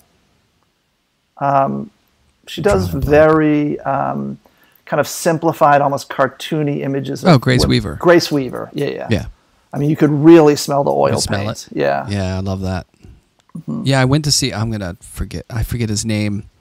He's a Chinese artist who I believe he shows at Pace and he does these really thick impasto paintings that are almost like pixelated in a way because Uh-huh. but when you stand back from them they become images, but it's so thick. But that was like buttercream. I mean that that show had, you know, a real whiff of of like sticking your face in the tube Yeah. of oil paint. You know, it was pretty great. so you're working? Do you are you working out here? Do, do you work between the two places? It looks like you got some brushes. Those are my mother's. Oh, uh, That's yeah. I'm in my mother's studio, old studio. so you Yeah. you strictly work in the city. I yeah, strictly at my studio in the city. Yeah. Do you ever sketch on like an iPad or any digital devices? Have you ever worked No, I- no, I don't, and I I wish I did because I have many friends who do it, and it clearly, you know, provides so many advantages for them. Um, I don't know, you know, how I would make the time to learn, but I I wish I could do that. You know, I wish I had that Yeah, skill. I never used to do it, and I got an iPad Pro, and I started sketching on it, and I was surprised at how fluid it is. Like it, Uh-huh. it, it feels pretty good, you know. And there's, I mean, it has its own thing, but it's pretty intuitive, and the pressure is so good. I mean, you know, because I started working digitally, you know, in the early 2000s. And drawing on the computer and messing Uh-huh. with Photoshop to change my colors and stuff like that, and the the advancements they've made from those days of those old tablets to like drawing on an iPad is like remarkable, you know. But the nice thing about that is like when you travel, it's so convenient. Like I take it when I visit my family and I can just knock out drawings. It's such a nice kind of like, tr- and, and you don't have to pack supplies. You just throw it in your bag and you're good to go. And you, you said you do that on iPad Pro. Yeah, because those are the ones that you can use the, the Apple Pencil, and Uh-huh. there's a bunch of programs. I actually teach a digital painting class at Penn State because I've done it a lot. I do a lot of digital drawing, and you know I use a lot of different programs, and you know some, there's so many now, like Procreate, and there's Illustrator Draw, there's Photoshop Draw- Draw Express, all this different programs, but they're all pretty intuitive as far as like you could just do a Conte sketch on there or, or just knock these things out really quickly. It's kind of fun, Huh. you know. It's like a sketchbook that you can always take around with you, and you know. Yeah, I, sh- I should try it. I mean, I was thinking more of it. Like I have friends who are very adept at, well, Photoshop, but um, you know those modeling programs. I forget what they're called. Um, like Rhino and yeah, all 3D those. Studio Max, all that. Yeah. Yeah. And um, you know, I have a friend who uses the program. It might be Rhino, where you can start with a virtual lump of clay and Yeah. make a sculpture, and he does that, and then he lights the figures. And I mean, it's an incredible tool. I wish I, you know, I, I need to, you know, make the decision that I'm going to learn those things. Well, the the beauty of the programs on that I use on the iPad, like Procreate, is just it's just a blank piece of paper and a pencil or a Yeah. pen. No, so it it's it's fun. very it's very straightforward, you know. hmm But you know, I I feel like I may have working in paper collages and doing things like that. Maybe I worked out of the sketchbook sort of like quality of my life where know, I think the only for years the only like drawing in that sense I was doing was like drawing my son a Pokemon every day for his lunch. Uh-huh. But then like, you know, it, I think that the digital media has made it it me jump back into just sketching more, which, you know, I don't really use for it. It's just it's like exercising when it comes to like, you know, drawing or making art, which is kind of cool. Yeah, definitely. And do you work last question. Do you work in silence? Do you listen to radio interviews, podcasts, or do you do you listen to music ever when you're working? I sometimes listen to music, but not not all not often.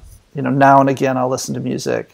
And with me listening to music when I work, I'll put something on, you know, I will love it, but then I can't listen to anything again for quite a while. So um, I usually listen to things like in the past couple of years, I've been listening to true crime just because Yeah. it's um, it's easy enough to listen to that, and I, I've gotten used to the distraction of listening to something. Uh, but I can't listen to um, like I can't listen to novels being read because I, I never pay attention. I- You know, I lose the the tra- the thread of the novel, and I can't listen to lectures because again, I, I can't maintain concentration on them. Isn't that a bummer? Because it's so hard to read. Because when you have time, we're making visual things, so we can't Yeah, read. So right. audiobook seems like the solution, but then you can't focus. So I, what's the use? I tried audiobooks, but the other thing I don't like about audiobooks is I almost never like the way it's read. right? Yeah, that's tough. Almost never. So um, that hasn't worked for me. Yeah, it's a that delivery pattern is is weird, right? It's like this yeah, and if it's, if it's overacted, it's you know for me really a problem. Um, I don't know. That's but listening while I'm working, I've I, I feel a little spent on true crime. I don't know what I'm going to go to next. I feel like I've exhausted all options. Did you ever listen to Serial, that podcast? I didn't listen to the first season. Isn't the second season the one? I think I listened to the second season. He defected from the army, like he was in Afghanistan and he defected. I didn't was listen to that second one. Season. The first, the first and second season were really good. Huh. But I'm not. Uh, yeah, I don't listen to a lot of storytelling ones. I I listen to more like interviewing ones. But uh, there was also the other one that was really good. I think it was called Last Seen, and it was based on the Gardner Museum heist. Oh, that was amazing. I I just loved found it. Yeah. fascinating. Yeah. I mean, really I, cool. I also loved that because that offered a glimpse into a Boston that does not exist anymore. right. You know, like the you know the mobsters in Dorchester and that lawyer they interviewed who said he had that great line. He said that this wasn't pulled off by a couple of jamokes. You know, just like that kind of language. Right. Right. Um, I throwback. loved it. Yeah. You know, yeah, that was good. And then there was wasn't there a Netflix special on it too? Yeah, I thought that wasn't as did- that wasn't as good. I, I watched part yeah, of the that. audio only, ironically, Yeah, it was for an better. art thing, was Yeah. better. Mhm. Yeah, it was well produced. Yeah, I really loved that one. yeah, And every once in a while, one comes along. yeah, that was great. Um, yeah, I you know I those paintings must be destroyed, don't you think? Oh, I know, right? I, I Yeah. um, I wonder about that. You know, because like, what happened? Like, what? I still can't figure out if it was an inside job or what the hell happened. Yeah. you know. I mean, I suppose you know the evidence seems pretty good that it was an inside job. You know, there's that evidence of the of that one guard in question who was the only person who was in the room where Right. one, I think the Manet painting was taken. But who would have that been stolen for? I mean, is it possible that it was really stolen for some billionaire who's just enjoying them in So isolation? weird, right? What a random. Yeah. Like, it doesn't make any sense. I feel like they were stolen, and then the criminals, you know, freaked out and destroyed them. I think we'll never see them again. Yeah, and that Vermeer is so beautiful. Yeah, I, I I mean that I'd never been to that museum, and the when I was listening to podcasts and then learning about it, what an amazing collection! It's such an anomaly. It feels like it's because it's small, but Yeah. there's just this amazing collection of work that you could really get up to. And Have you been there know. since? no, I haven't. You- so you've been. never been there. never. Uh, you know, people love the Gardner Museum, and I've, I've been there a lot, you know, because of my time in Boston. I, I'm not a big fan of the Gardner Museum. Um, for one thing, it's very dark, and you know, I think according to the to the will, they can't change that about it. Right. Yeah, it's got to Um, be a certain way. And um, I don't know. I always find it a little bit depressing somehow, but uh, people Yeah. love it. But that that Vermeer is just a beautiful painting. Well, that's the thing about museums too. Say what you will about how they hang things or light things or or what, but the work is the work. You know what I mean? And and that uh, they have a very impressive you know group of work. No, for sure. And uh, yeah, well, I don't know what the hell. I I I mean, because these guys have just stolen and been like, well, we can't sell this stuff. Let's just get rid of it. It- I Yeah. mean that. How It's dumb can you be? Such a strange story, right? Because and they cut it out. They cut it out of the uh, frame. yeah, right. Why wouldn't you just take the frame? I remember an episode of The Three Stooges that had to do with an art theft, and, and the criminal cut it out of the frame. And even when I was six, I thought to myself, "Don't do that." Yeah, why would you do that? Yeah. Just take the whole thing. That made me question everything about Yeah, their knowledge of trying to sell this. It just, you know, someone told them this stuff is priceless, and then they didn't realize that trimming it out of the frame is probably going to d- decrease its value slightly. right. I- Not to mention you can't sell the stuff without getting caught. Although art still is stolen, right? I mean, there are other cases of people stealing art. What do they think they're going to do with it? I uh, personally, I think the only thing they can think is I'm going to keep this for myself. That's the only one that makes sense. Like if someone Uh-huh. Stole a Picasso and they're like, I just want to hang one in my house, and they really love it. It's not to show other people because other people would be like, well, what is that? And then the cat's out of the bag. Right. So you gotta like want to steal this thing just so you can have it, which is really awful. Like you know, I just want me to look at this thing forever. I know, but that just seems like fiction to me. Like that, like Yeah, that person doesn't really exist. just us, maybe. Yeah. Like all art thefts are done by artists who really Right. wanted that piece. you know. Do you ever think of that though? Like I love, you know, like I mentioned, I love Ingres, but I do like think to myself, would I really want to own an Ingres and hang it in my house? I'm not sure. I think about that all the time because I, there's work that I love, and then rarely there's work that I want, Want to have, yeah, and I, it's almost never. Right. because I'm happy just looking at things. But once in a while, for some reason, there's an image where I think I'd hang that. I'd like to have that in my house. Yeah, yeah, no, it's very that's rare, true. but I don't know what it is. I don't know what the metric is, but there's some images that I just feel like I could look at that every day. yeah, yeah, that's true. It's no, kind of like a relationship, you know. It's like you meet people, you date people, and you're like, oh, I like that person. They're fun to hang out with. And then once in a while, you just find someone, and you're like, I could be with this person. Yeah, you know, a it's a good different kind of love of an image. right.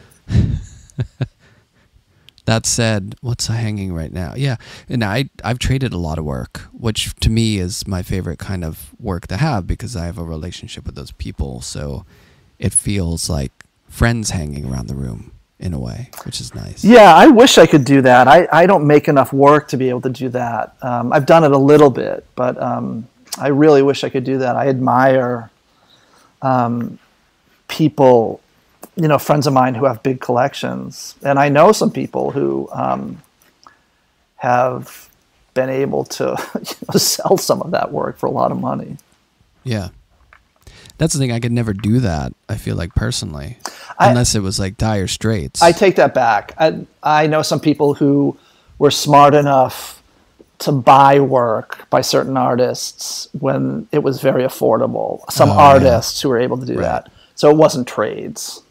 Um, and sell the work. Right, that's a little bit more questionable, right? Like when you trade and then sell. I like in the back of of my that. mind when I and I have no right to feel this. When I trade with someone, I always think, "Well, I hope they don't just sell that eventually." Right. Not that they would make any money from it, but I'm just it's like the you know, it's like when you give someone a gift and you hope they don't regift it to someone else. Like you hope they like it and they want to be with it. Although I suppose, like, if you trade with somebody and the, the person's had it for 30 years and then they're retiring and they can sell it for a lot of money to, It's great, yeah. yeah, that's totally fine, right? No, it'd be more the six to six month to one year turnaround Right, that would be a little bit of a shot in the gut.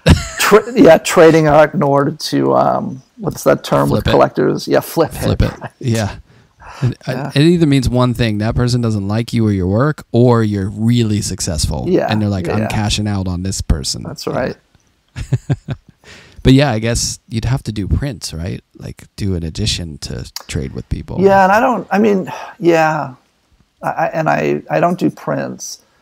Um, Ah, the irony with your with your dad and the printmaking. Was Yeah. he like doing typeset stuff? I think uh, so. I think it was like typesetting, and um, he had a he had a, a a printing business in Palestine in the fifties, early fifties, Whoa. and um, yeah, I think it was offset typesetting, like all of these old, and it's you know some kind of photo engraving.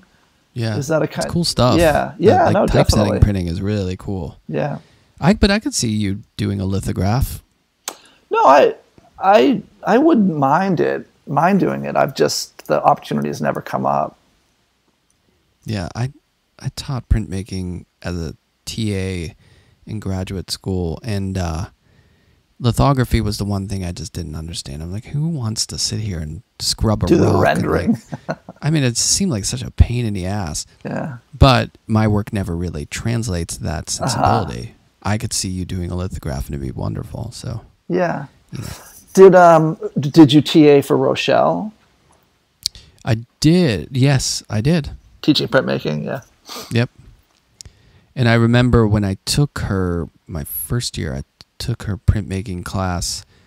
I was doing digital prints. So what I would do is I would ink a plate and then I would press it into the or no, what I did would I would have a blank plate and I'd run it through on Japanese paper and emboss it Uh-huh. and then I would feed that through the printer Oh, cool. and then digitally Oh, print onto that section. And I remember feeling immense guilt, like I'm cheating or something. Because Uh-huh. at that time, it was kind of like digital. People were like, "What?" Like, I it's think that's a really interesting idea. It was fun. I, I thought it was really cool, but I, I got I had a little guilt, Huh. digital guilt.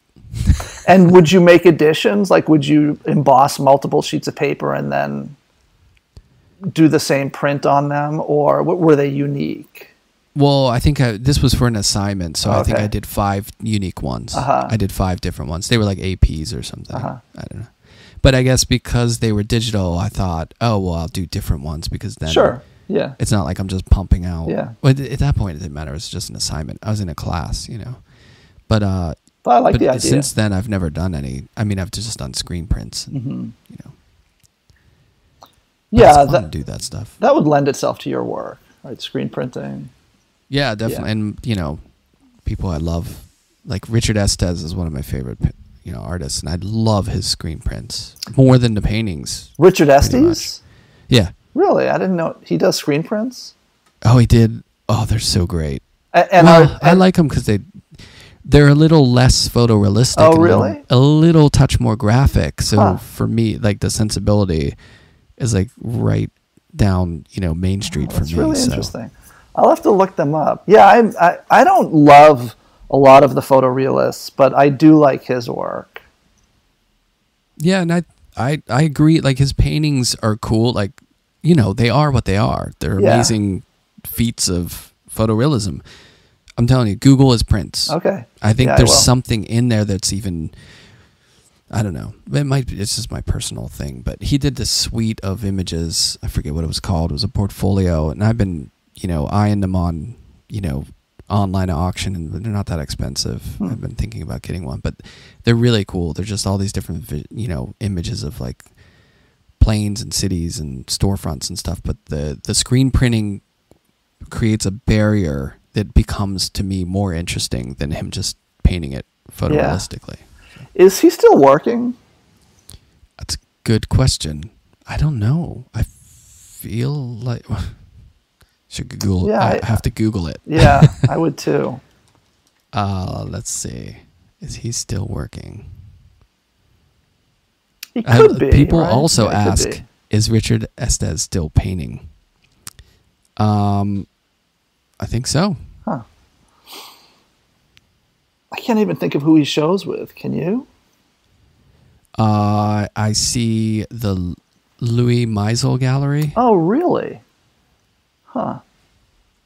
He should be with someone like Zwirner or Gagosian I mean, or that- that- Gladstone, like Barbara Gladstone picked up Robert Bechtle. oh yeah, those are cool though. The Bechtle paintings, I feel like, are a little Yeah.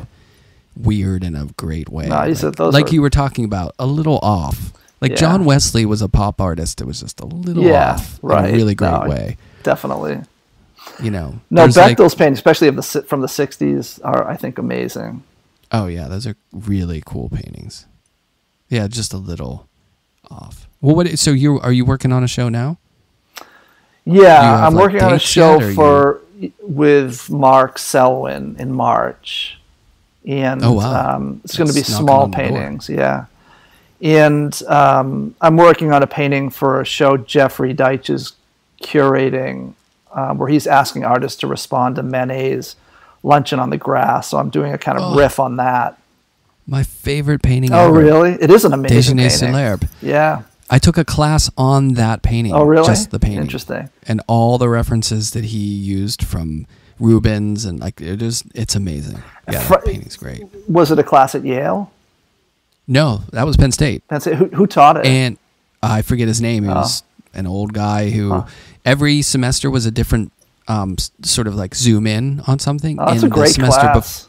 yeah, the semester before was on Kandinsky, and it was one of my favorite paintings. And I was like, oh, I'm gonna take this class. And I got in, and he was like, it's Déjeuner sur l'herbe, and I was like, this is bullshit. Uh-huh. I was so upset, but there was no options to change the class, so I stayed with it, and it was my favorite class, my favorite art history Yeah. class. It was great. I, I, you know, that painting, I've seen it in person, and for Yeah, years. Yeah, and for years it was, you know, I mean, sort of in my peripheral vision. I, I wasn't dismissive of it, but I didn't think much of it. But then when Jeffrey asked me to be in this show, um, I really started looking at it, and that is just such an incredible painting. You know, it's such an inexplicable painting. You know where those weird. decisions came from. They just they yield no answers, in my opinion. And you know, a lot of art historians have offered offered reasons for the way that the re, for why the painting looks that way, but they're in the end not for me not that convincing. This class was convincing. Was it? we there were scores of references Does he? that was researched. yeah. I, I forget the name of the guy who taught the class, but I mean, he would show these old, you know, I think there were Rubens lithographs. I can't remember. This is a long time ago, um, but the the evidence was irrefutable, in my opinion. Well- like I was just like, this is really interesting. evidence in what sense? That you mean He the would evidence of the triangulate um, stuff that Manet was looking at and proof of him looking at Oh, those yeah. things No, and that's- sketches sure. that went into it. Yeah. you know. I mean, I think that's traceable and that's convincing. I meant more that I don't, you know, like sometimes an art historian and several art historians have done this, and maybe this is universal or near universal with art historians, is they talk about Manet as the beginning of flatness and abstraction. But I, but you know, I, I think it's a little bit, I think that's a little bit retrospective. Do you know what I mean? Now that we're looking back. But surely, like, he wasn't thinking that. Like, he wasn't thinking that this is, you know, I'm initiating some big shift towards flatness. Like, I just don't think that would have been within his, I don't think he would have been, you know, I don't think anybody had gotten to that point to make that decision. And then there, there is a, you know, there are paintings from European art history that are flat. You know, like he's not the only person who made flat paintings. Right. And then there, he's not. He's also not the only person who made paintings where a figure very pointedly turns toward the viewer. And so it's not like you know that decision in Manet wasn't. He didn't initiate that. Like you can, you know, David actually did that at the end of his life. And so, and then I'm I'm not totally convinced by that painting being influenced by photography. Um, although some people have made like good cases for it. So, where the strangeness in that painting comes from, for me, is still very difficult to locate. And also the source of his decisions, like why the why does the landscape look like a backdrop? Um, you know, why is so much of the um, psychological energy centered on that on that one female figure? You know, why aren't those figures don't don't they seem to be communicating with each other? It's just an endless um, series of questions for me that is I, I find really fascinating. Yeah, definitely. And I mean the but the the thing like if you look at Olympia, I mean, he wasn't the the first person to paint a courtesan, but it was the way that he Yeah. did it and looking at the viewer that was kind of punk. And then the barmaid one with the woman behind the bar and then the reflection being at a different angle, you could say that that decision was made out of I mean that that was pretty purposeful. You know what I mean? It's sure. like two perspectives at one. Yeah. Which he's probably not saying to himself, I'm inventing cubism, but in a way it was a bold move that was, you know, pretty remarkable at the time. So and sometimes, Yeah. you know, it's it's true that some decisions might have been made from just like limitations of ability or maybe not focusing or it's hard to say, but he is compelling in that sense. Like, Yeah. it- it's he made interesting stuff. I mean, with Manet though, um, you know, with Cezanne, I think that probably probably what started some of his decisions were a certain kind of um, inability, right? Like he didn't quite have the skills that would have been expected of an artist at that time. Um, which isn't to say, I mean, I you know I think he's an incredible artist. Um, so thank God he didn't have those skills. But Manet, I I think, did actually. Like if you look at that guitar player at the Met, you know that's a beautifully made painting, right? That's when he he made that when he was young. Like I think he could have. You know, there was just a strange um, unpredictability. I almost think of it as like a proto Dada dismissal of any kind of standards that were expected of artists Yeah. at that time, which I love about him. Yeah, and that was like a precursor. I mean, Picasso was the ultimate of like he had all that ability. Picasso, Right, yeah. you know, paint beautifully, and he was just like, screw it, I'm you know, gonna burst through all these doors of like next thing, you know. And if you have ever have you seen his sketches of Déjeuner sur l'herbe, like his interpretations? I'm sure. Yeah. Oh, They're you- pretty great. Yeah, I'm sure I've seen them. I mean, the thing about Picasso though is like all you know through all of his invention, his enormous skill is always evident. Do you know what I mean? You know, and in, in a way, he remained a kind of classicist. You know, like classical cubism is really a kind of like classical painting. You know, it's such an ordered painting. Where Manet seemed to be always, you know, disregarding any kind of standards. You know, which makes his paintings thrilling for me. right. Um, like yeah, I, I it's the blurry area again. yeah. you know, Uh huh. Because Picasso, even when he was simplifying things down to like a face and a stick or something, it was still beautifully done and perfect. Like the Yeah. the balance absolutely. of it. I, like he couldn't help being great at Right. that. Whereas Manet, you're always like, well, what, you know, what, what's he? You can't figure it out. you know, Yeah, and which is- also with Picasso, you know, you can trace Picasso's cubism, you know, very clearly back to Cezanne. You know, there's an unbroken chain of development yeah, where, you know, as you were saying, Manet has many, many references, many predecessors, but it's not quite as unbroken a chain. You know, there's something with Manet's work that almost seems to come out of nowhere right. you know, like those those paintings from the 1860s. Where did they come from? They don't make Right. sense to me. Yeah, yeah, it's good stuff. I, I, it's funny because I mean it's into the weeds with Manet. I feel like there's a lot of people who are just like, what the hell are you t- talking Yeah. about it. I love it. You Oh, know, me it's I love that that niche of like art history and that Mm-hmm. that time is I think critical. But then again, I don't think I would have that appreciation if I didn't take that class. Not to the extent that I have it. So that's why I, you know, people like to say art school, smart school, and you know it's a sh- scam or whatever. But I do think there's something to be said for being exposed to things like that when you're not expecting it. And Yeah, for sure.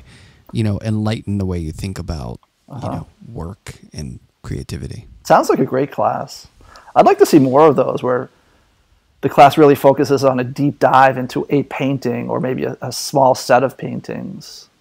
I that class was so impactful to me that I do that now, You and? I am not qualified. Uh huh. oh, I did a I did a course on Guernica on the Uh-huh. whole the whole class was on Guernica, and we broke down everything from black and white to you know newspaper, political to you know um, icons and symbols and references and um, wartime work and whatever you know. Each week it was something else or what, and and I loved it.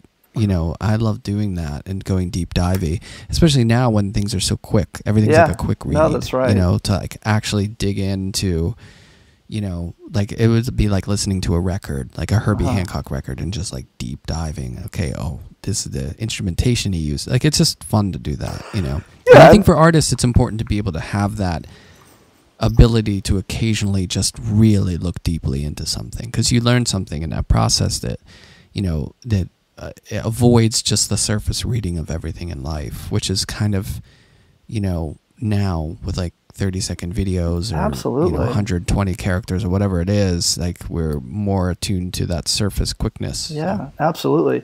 I also think that you're um, you're qualified. I mean, as an artist, you know, you have a way of uh, looking at and understanding a painting that, you know, I- I'm not diminishing art historians at all, but we we have we come at works of art with a different set of you know skills and backgrounds, and so I think it's completely legitimate for an artist to do that because they're going to Yeah, take I a would just- different approach. I would feel self conscious if there was a Picasso expert who taught a class Yeah. on but then again, that can be too academic or it could go too formal. And there's something, like you're saying, the way artists interpret work is totally different than the way art historians do. yeah, You know, you know, and I mean, I notice this all the time, and I don't mean this as a, a criticism at all, but during the pandemic, um, a, a friend of mine um, who's an art historian told me about these YouTube videos that the curators at the Frick were doing, and I think they're called Cocktails with a Curator. Have you watched any of those?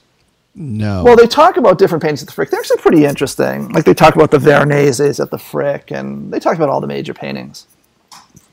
And um, I've I watched several of them, but all they do is talk about the iconography and the meaning associated with that iconography, but never how meaning also comes out of the way the paintings are made or the form. They, they, they don't. They never talk about composition. You know, they never talk about the formal elements, which is just that's you know just their approach, and that's fine. You know, and I learned a lot actually because I didn't know all the symbolism in those Veronese paintings, and that was interesting. Uh, but it's just a different way of looking at work. Yeah, it's a it's a different analytical read. Yeah, you know, yeah. and it's it comes out of that kind of, you know, a lot of art history has a specific analytical bent to it. Right. You know, and just like artists, we have a bent to it too. We see it through the association of making things as opposed to uh, researching or or analyzing things. Yeah. you know, like Uh, I, I feel a gut reaction when I see a Rothko. I'm not just thinking about it in relation to the abstract work before it and what this means to distill it to color. It's also the the motion and all that other side of it, of Yeah, the physical absolutely. aspects of it. Yeah, or you know Rothko for sure, or for that matter, of Veronese.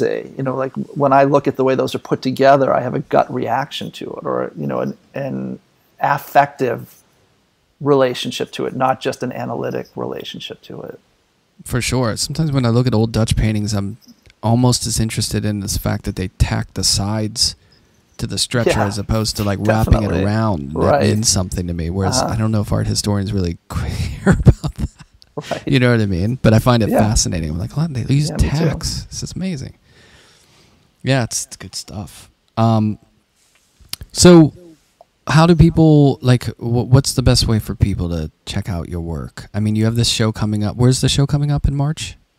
Marc Selwyn in Los Angeles. Okay, and, and and the show, the group show at Jeffrey Deitch opens in February, and that's also Los Angeles. And oh. then I, I- have a show that's tentatively scheduled with Miles McEnery for October 2023. So I'll, you know that's in the distance. now when you for a solo show like that, are you already turning the wheel in the mind, or is it still does Yeah. it develop over time? you know, I mean, I guess it develops over time, but I I am having some second thoughts about what I want to paint. So I actually have to talk to Miles about it. Um, we're going to talk next week. So I'm a, it's a little bit up in the air exactly what I'm going to be doing for that show. Well, that's fun to Yeah. not know exactly and to, Yeah, to work sure. that out. Yeah. It's exciting. Well, I look forward to that. I wish I could see that. I mean, I'll guess I'll have to see it on the internet. But the Dejeuner Celeb show sounds amazing. Yeah, I actually don't know the other artists in it, um, but uh, it, I, you know, I think Cecily Brown is in it. I only say that because I saw I saw a painting she did clearly based on the Manet painting on her Instagram feed. That would be strange if a, a strange coincidence. That would be a strange coincidence. Yeah, yeah. Um, so yeah, I'm excited about that show. That's great. And uh, you do online stuff too, social media and website. Yeah, I have an Instagram, and it's just my name. And my my website is kurtkauper.net. Um, you know, I used to have kurtkauper.com, but I let it lapse, and someone took it, and someone owns that now. What is it? A fan site or is it like some other? No, it's um. It looks to me like it it passes as some kind of commercial website, but it looks to me like someone just took that name. You know, apparently people do this. They'll buy lapsed websites and then you know in Sell the it back. expectation that the person right the person's going to Yeah. need to buy it back Right. and i think that's what happened to it because it's some weird um, website if you go to kurtkauper.com and uh, as far as I, as I know there are no other kurt kaupers in the united states my last name is uncommon enough Yeah. Well, maybe you can offer them twenty bucks. i've heard that they try to get at least like a thousand dollars or something. Well, my brianalfred.com, I believe, is a tax consultancy in Oh, really? London. Yeah. so So what do I you have- have net. We're starting Dot a new net, wave. yeah. Net is where Wow. it's at. Yeah, I had kurtkauperstudio.com for a while, but I was convinced to do .net. It seems hard to get .net though to be up high on the search. Have you found that to be the case?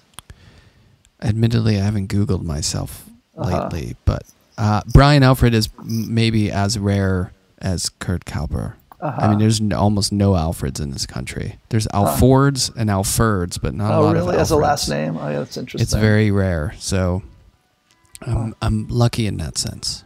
Well, listen, it was great talking. Thanks so much. For Yeah, it was great talking to you too. Thanks for inviting me. I can't wait to see the show. I mean, maybe at that point we'll all be able to congregate. Yeah, well, All this will be hopefully. behind us, or at Yeah. least, yeah, fingers crossed. Yep. All right. All right. Well, thanks, Brian. I'll Thank talk to you, you. soon. Okay.